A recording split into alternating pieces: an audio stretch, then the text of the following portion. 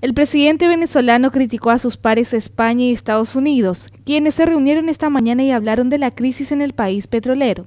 Nuestra mayor venganza es continuar con la revolución, es que es la venganza antiimperialista del pueblo venezolano, señaló.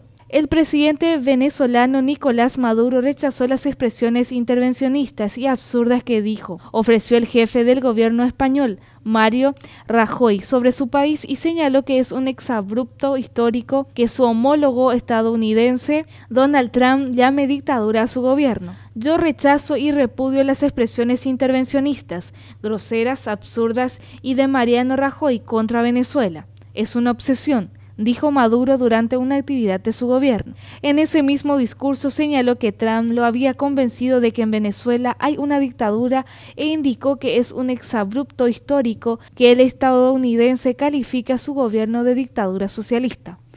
El jefe de gobierno español y el presidente estadounidense sostuvieron un encuentro este martes y en declaraciones a los medios se refirieron a la situación de la crisis política, económica y social que atraviesa Venezuela.